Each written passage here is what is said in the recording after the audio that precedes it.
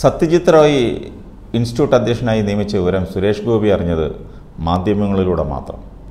തന്നോട് ആലോചിക്കാതെയും അനുവാദമില്ലാതെയും നിയമിച്ച സ്ഥാനം സുരേഷ് ഗോപി ഏറ്റെടുത്തേക്കില്ലെന്നാണ് ലഭിക്കുന്ന വിവരം.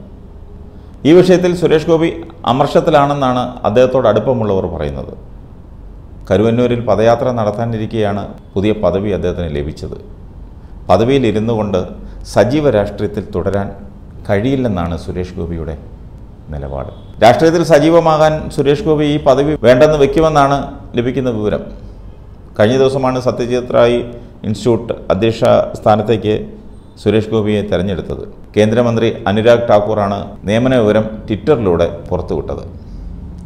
സുരേഷ് ഗോപിയുടെ പരിചയ സമ്പത്ത് ഇൻസ്റ്റിറ്റ്യൂട്ടിന്റെ പ്രവർത്തനങ്ങൾക്ക് ഉപകരിക്കുമെന്നാണ് കേന്ദ്രമന്ത്രി അതിൽ പറഞ്ഞിരിക്കുന്നത്. മൂന്ന് വർഷത്തേക്കാണ് നിയമനം. അതേസമയം സുരേഷ് ഗോപിയെ സത്യജിത് റായ് ഇൻസ്റ്റിറ്റ്യൂട്ട് ഓഫ് സയ ഫിലിം ആൻഡ് ടെലിവിഷൻ അധ്യക്ഷനായി നിയമിച്ചതിൽ കടുത്ത പ്രതിഷേധമാണ് ഉയരുന്നത്. അത് മറ്റൊരു വസ്തുതയാണ്. സത്യജിത് റായ് ഇൻസ്റ്റിറ്റ്യൂട്ട് വിദ്യാർത്ഥി യൂണിയനാണ് ഈ നിയമനത്തിൽ പ്രതിഷേധവുമായി രംഗത്ത് വന്നത്. ഹിന്ദുത്വ രാഷ്ട്രീയത്തോട് അടുത്ത് പ്രവർത്തിക്കുന്ന ബി ജെ പി നേതാവിനെ തന്നെ അധ്യക്ഷനായി നിയമിക്കുന്നത് ആശങ്കപ്പെടുത്തുന്നുവെന്നാണ് യൂണിയൻ ആരോപിക്കുന്നത്. രാജ്യസഭ എം പി സ്ഥാനം വിട്ട ശേഷം ബി ജെ പിയുടെ കോർ കമ്മിറ്റിയിലേക്ക് സുരേഷ് ഗോപിയെ നിയമിച്ചിരുന്നു. എന്നാൽ തനിക്ക് മറ്റ് പദവികൾ വേണ്ടെന്നായിരുന്നു സുരേഷ് ഗോപിയുടെ അന്നത്തെ പ്രഖ്യാപനവും നിലപാടുമൊക്കെ. തൃശ്ശൂരിൽ മത്സരിക്കാനുള്ള സന്നദ്ധത പുള്ളി ആ സമയത്താണ് അറിയിച്ചത്.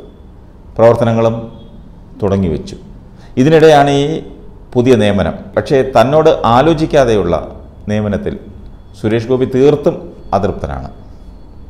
കാരണം അദ്ദേഹത്തോട് ആലോചിക്കുകയോ അല്ലെങ്കിൽ അദ്ദേഹത്തിന് അനുവാദം മേടിക്കുകയോ ഒന്നും ചെയ്യാതെയാണ് ഈ പ്രഖ്യാപനം നടത്തിയത്. രാഷ്ട്രീയ തിരക്കുകൾ ഏറെയുണ്ട്. നിരവധി സിനിമകളിലും അഭിനയിക്കാനുണ്ട്. അതുകൊണ്ട് തന്നെ മറ്റൊരു ഉത്തരവാദിത്വം പറ്റില്ലെന്നാണ് സുരേഷ് ഗോപി പറയുന്നത്. ഇക്കാര്യം പ്രധാനമന്ത്രിയെയും കേന്ദ്ര ആഭ്യന്തരമന്ത്രി അമിത്ഷായെയും സുരേഷ് ഗോപി അറിയിക്കും. ഒക്ടോബർ രണ്ടിനാണ് കരുവന്നൂരിൽ പദയാത്ര നടത്തുന്നത്. കരുവന്നൂർ ബാങ്ക് മുതൽ തൃശ്ശൂർ സഹകരണ ബാങ്ക് വരെയാണ് പദയാത്ര നടത്തുന്നത്. ഗരുഡൻ എന്ന ചിത്രമാണ് സുരേഷ് ഗോപിയുടേതായി ഇനി റിലീസിന് ഒരുങ്ങുന്നത്. ബിജു മേനോനും പ്രധാന വേഷത്തിലെത്തുന്ന ഈ ചിത്രത്തിന് തിരക്കഥ ഒരുക്കുന്നത് മിഥുൻ മാനുവേൽ തോമസാണ്. അഞ്ചാം പാതിരയ്ക്ക് ശേഷം മിഥുൻ തിരക്കഥ ഒരുക്കുന്ന ചിത്രം കൂടിയാണിത്.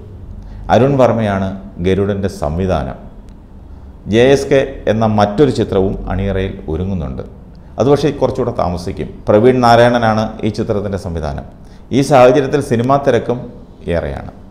അതിനാൽ മറ്റൊരു ഉത്തരവാദിത്വം ഏറ്റെടുക്കാൻ കഴിയില്ലെന്നതാണ് സുരേഷ് ഗോപിയുടെ നിലപാട്.